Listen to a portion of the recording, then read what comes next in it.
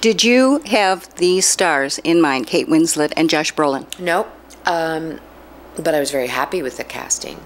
Um, Jason actually did tell me really early on that Kate Winslet was who he wanted, and he waited a full year for her. And she was worth waiting for, in my opinion.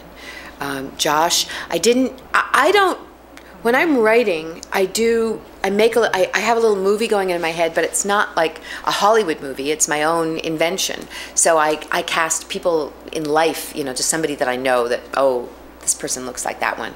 Um, but I did, I think I said last night, I pictured Tommy Lee Jones, but our Tommy Lee Jones, you know, Tommy Lee Jones of long ago. And so that's very in keeping with the casting that he ultimately did. And I, I love the casting. And of course, the boy, the casting of the boy is so important. And, you know, you don't, you don't usually know that many 13 year old boy actors, but boy, did he find a good one. I, I think Gattlin Griffith is just extraordinary. What impressed you most about him? Uh, how expressive his face is without, without words. Um, I mean, he's in almost every scene of this movie, and he doesn't say that many words. It's just looking at his face. Well, you, you said you were ins- inspired by the boy, that you heard the boy's voice. I did. you hear the boy's voice as a young boy or as an older boy? No, because I heard the boys. Good question. No, I heard the 13 year old boy. And I did raise sons. This book is dedicated to my two sons, um, who are now grown. Um, but it was a a big um, awareness of mine while I was raising them that that they were they were feeling a need to take care of me, and that's not as chil- as it should be for children. Um, and I was, I mean, I was doing my best to take care of them, but they also recognized correctly my vulnerability. My husband, my husband, God, that's scary. My son, Charlie, did give me the husband for a day coupon book that's in the movie. Can you tell me, is the girl, the little girl who um, does the first kiss, was she modeled on you, or did you? Is there Wow, anything you're of you? Smart. I don't usually admit it. Yeah, she's. You know, uh, I mean, uh, Al said something very good. There, there are no villains, but she is definitely devious and diabolical and dangerous in the way that a 13-year-old girl can be. Um, and she's actually a much bigger character in the novel than she is in the film. I don't fault Jason for this, but there just wasn't space for her. Um, but I, I mean, I'm all of these characters. I'm, I am Adele. That's the most obvious one. I'm pieces of Adele. I'm pieces of Frank. Pie baking is me, but I'm, you know, that kind of prisoner feeling. I, you know, you can be a prisoner in many different forms. I'm Henry, but I'm also definitely that girl, wanting to stir things up. It's not a script with a lot of big speeches, you know. Um, it's it's faces and feelings and and baking. Well, and that's what I want to get to. in that. Yes, I want to talk about the pies. Now, you were not a baker growing up, but your mother was. Well, I, I did bake. I never, the one thing I didn't bake was pie. I didn't have to because my mother made great pie and my mother was going to live forever. Only she didn't. Um, and she had always said, if I ever get a brain tumor, she said this years before, if I ever get a brain tumor, I'm not going to count calories.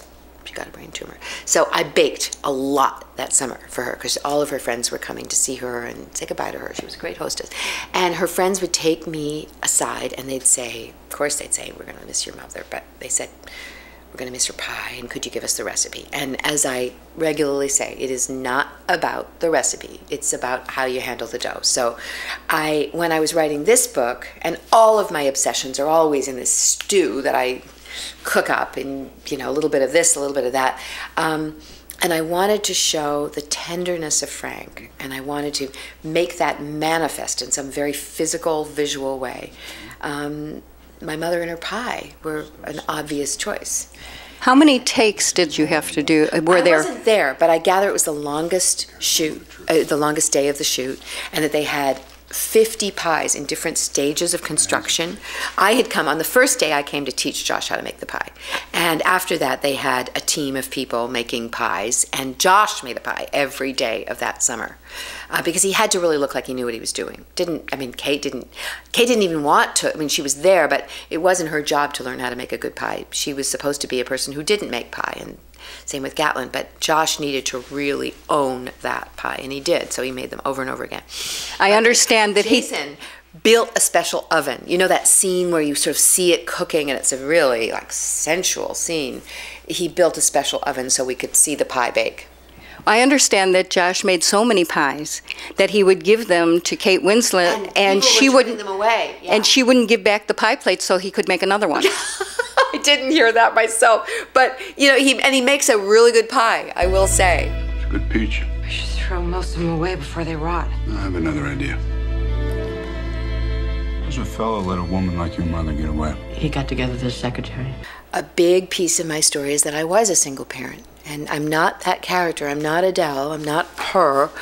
Um, and Josh Brolin never showed up in my kitchen, but I certainly know the loneliness and isolation and yearning of a single parent. And I really, I hadn't seen that story told. So that came very much out of my life, wanting to um, give to another woman or man like me, because I think this is true for men as well, you know, doing it alone in whatever form doing it takes.